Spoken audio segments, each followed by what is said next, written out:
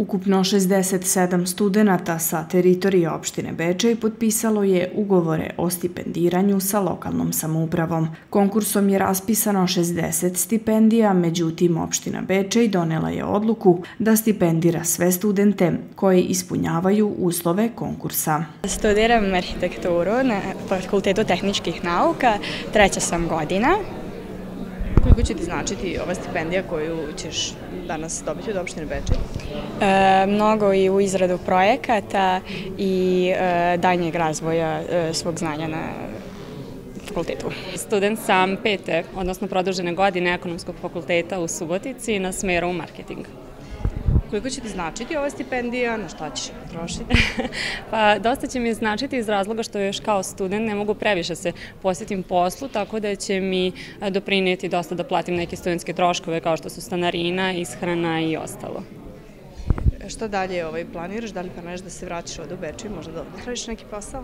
Pa to nije isključeno, vidjet ćemo. Trenutno imam posao u Subotici, ali ovaj, ko zna gde će mi put dovesti, naravno obožavam Bečej, tako da bih najradije volila da se ovde vratim. Ugovore o stipendiranju studentima je uručio predsjednik opštine Bečej dr. Vuk Radojević, koji je ujedno obećao da će lokalna samouprava povećati iznos mesečnih stipendija. Zadovoljstvo je bilo biti danas sa mladim, perspektivnim, ambicioznim ljudima, čiji rad, trud jesu zapravo e, doprineli tome da oni ostvare ovo pravo na stipendiju. I zapravo ovo jeste vrsta podrške i pomoći lokalne samouprave ka sticanju njihovih akademskih zvanja.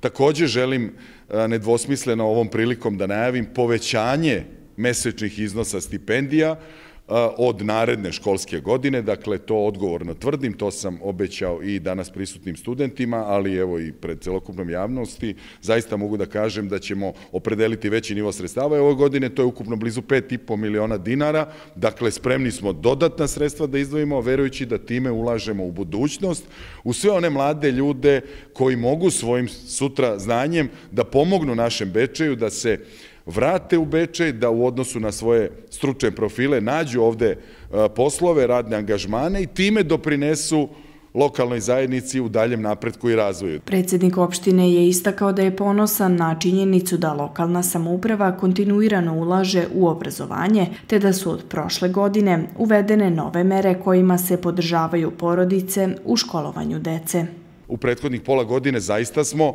se trudili da prepoznamo i druge kategorije mladih. Besplatan vrti za svu decu na teritoriji opštine Bečej od e, ove godine, to jest od iduće školske, besplatni učbenici za đake prvake, takođe sledeći korak, srednjoškolci, besplatan prevoz za sve učenike sa teritorije opštine Bečej. Dakle, želimo sve kategorije mladih podjednako na neki način, kroz njihove naravno različite potrebe da prepoznamo i finansijski podržimo, a time olakšamo porodicama u Bečeju školovanje njihove dece. Od najmlađeg uzrasta pa evo do studentskih dana. To je vrlo jasna i nedvosmislena namera.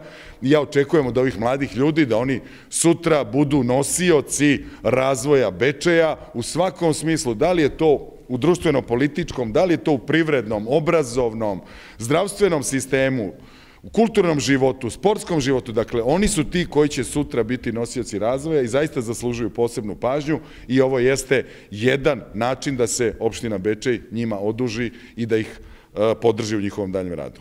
Inače, studenti sa teritorije opštine Bečej koji su dobili ugovore o stipendiranju dobijaće 8000 dinara mesečno u trajanju od 10 meseci.